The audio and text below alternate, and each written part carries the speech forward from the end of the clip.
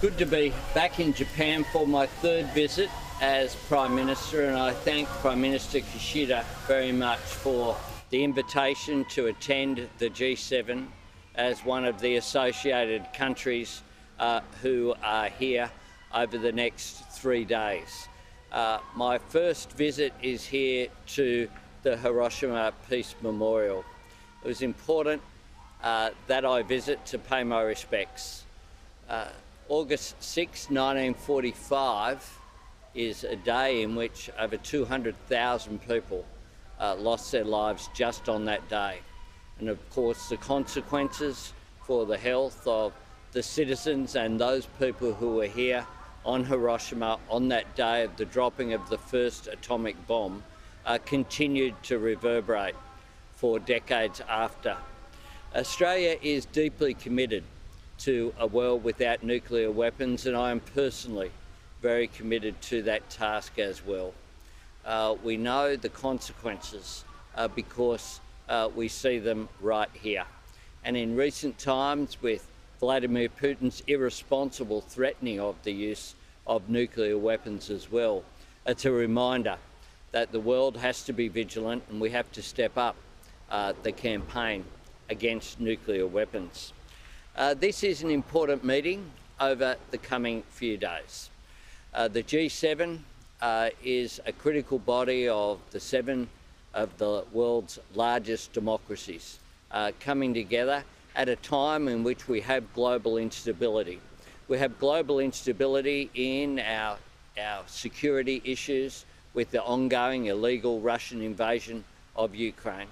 Uh, but we also have uh, tension in our own region, but we also have global instability, in part as a result of that Russian uh, illegal invasion of Ukraine and ongoing atrocities being committed in the global economy.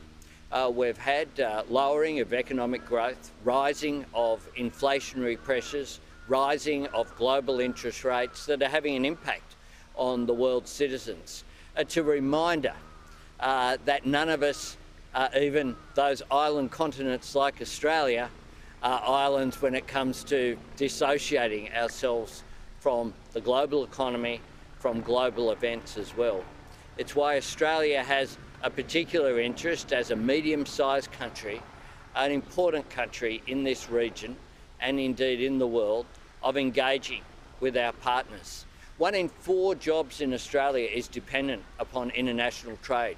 Japan is, of course, our second uh, largest trading partner, and the relationship with Japan is very important going forward. So the tasks uh, working with our partners here are to shore up uh, peace, security and stability in the Indo-Pacific region, uh, to deal with the issues of economic security, building resilience to future shocks, but also, of course, an issue that is a national security issue for all of the countries attending here, which is the issue of climate change, uh, which will have an impact, particularly in our region. I note the uh, Cook Islands, uh, Prime Minister Brown has been invited and will be here as well. I look forward to having discussions with him. Uh, they will host the Pacific Island Forum meeting uh, later this year.